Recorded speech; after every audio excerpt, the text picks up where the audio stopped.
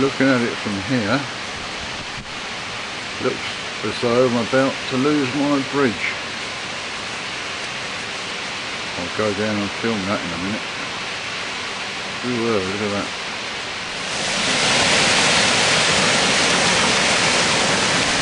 Well, there's my little waterfall. It's the highest I've ever seen it. Looks as though the bridge is getting submerged. That was a waterfall up there, nearly gone. And it has, in fact, broken its banks and turning that into a quagmire.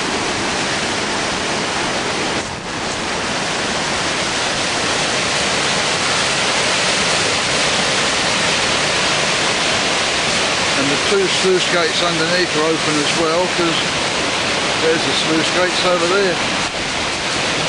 Right out. So it's got quite a flow on it.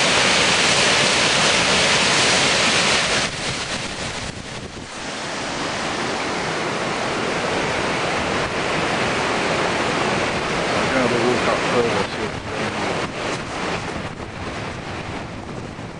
Well there's my veggie patches. All covered up for the winter. I'm waiting for me to do something useful. Let's go and have a look at well, my little island has uh, disappeared. No point in going down there And that fence I put up down there is underwater. So I look a little bit further upstream. Well, nice pleasant little stream. Got other ideas.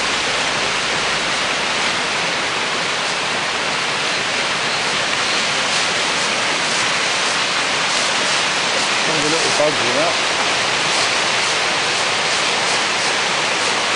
No leaves yet.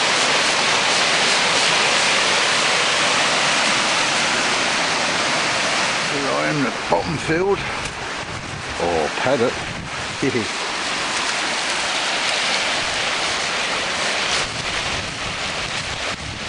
There's the water.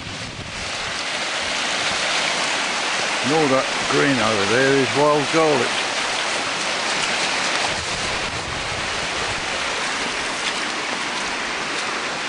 Wild garlic, you eat the leaves. With the other sort of garlic, you eat the bit underneath. Oh, or something.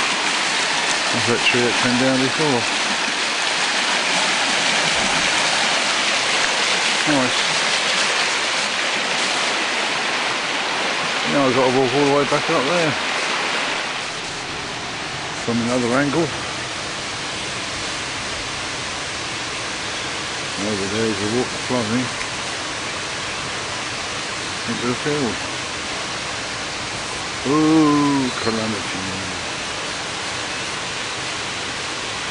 I'm going over there to see if that uh, oak tree's dropped any branches in the wind. Here I am over the other side of the brook.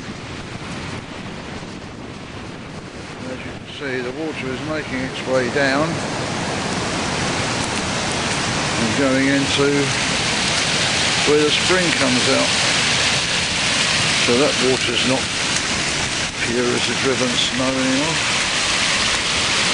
In fact, it's looking decidedly muddy. Anyway, let's see how my old oak, the old dead oak is faring. There's the old dead oak. And I was hoping that with all the winds we've had it's going to drop me off a branch or two but it has not. Some branches have dropped, you can see by the uh, lumps of bark. So I'll get around here.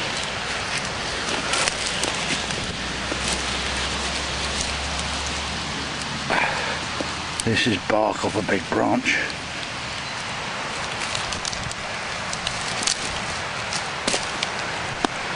Somebody's had the branch.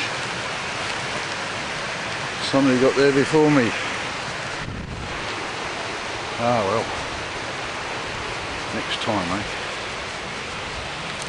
And now over the other side of the road, the other side of the bridge. And there's the water coming through the bridge. What is quite interesting is the way they used to build bridges.